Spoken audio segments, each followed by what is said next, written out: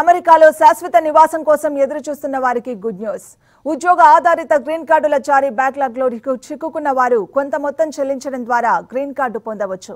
దీంతో భారతీయులు పెద్ద సంఖ్యలో లబ్ధి పొందనున్నారు. ఈ ప్రతిపాదిత బిల్లు చట్టరూపం దాల్చాల్సి ఉంటుంది.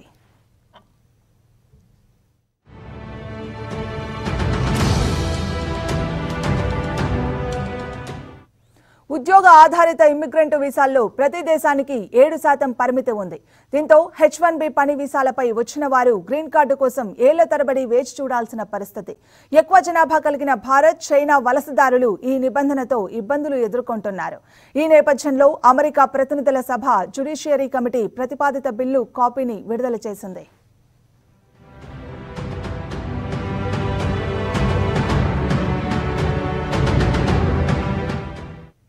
దీని ప్రకారం ప్రయారిటీ డేట్ దాటి రెండేళ్ళు పూర్తి చేసుకున్న ఉద్యోగ ఆధారిత వలసదారులు ఐదు వేల డాలర్లు అదనపు రుసుం చెల్లించడం ద్వారా సంఖ్యా పరిమితులు లేకుండా శాశ్వత నివాసం పొందవచ్చు.